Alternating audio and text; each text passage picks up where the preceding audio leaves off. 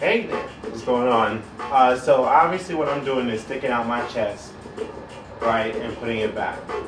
One of the interesting things is that you can almost make it look like you're separating it, so it looks like one, then the other, then coming back down, then come back down.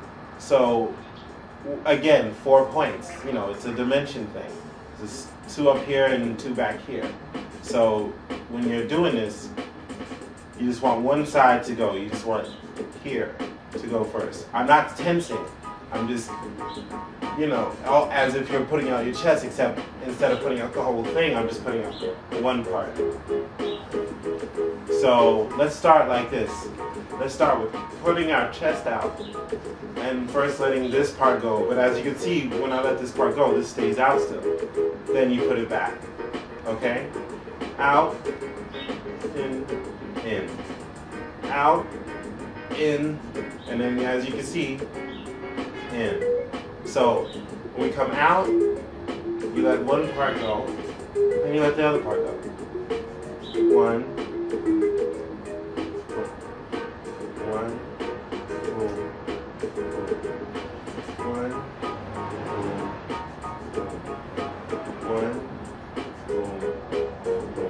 again, you don't want to try and move your shoulders. You know, if it happens, you just want to try to relax yourself and try to not focus on your shoulders, but just focus on your chest to make sure that that's the point of focus. That's the center.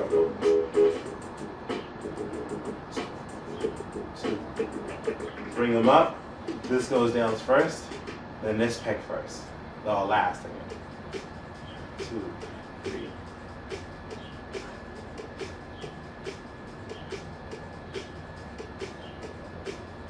And your breathing is very important here too. You don't want to breathe too heavy. You don't want to breathe too soft. You just want to breathe normally to be able to take in air and to do it.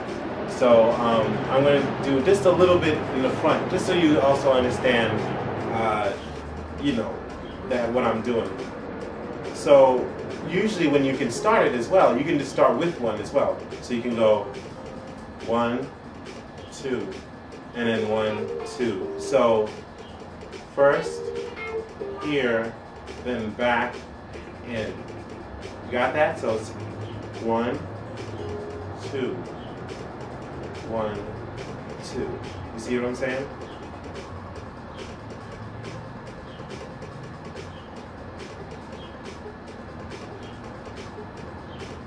See what I'm saying? So let's do this about uh, 10 times. Let's do the here as a full uh, rotation 10 times, right? And then, well, five times, and then we'll reverse it for the other five, okay? So five of this, and then reversing it, okay? So, get ready. And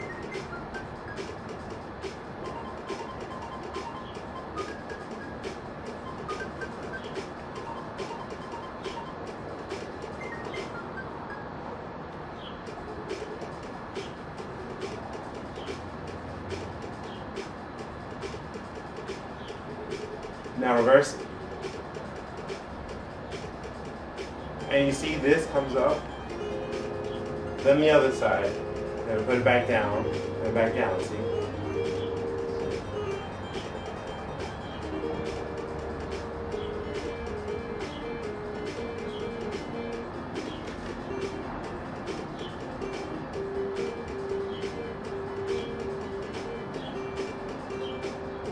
Again, you want to be able to be able to give the illusion that you know one part is going, one part is uh, going as well. Again, sometimes you know, like sometimes my shoulder moves, you know, once in blue, but I try not to let it move. But you don't want to strain.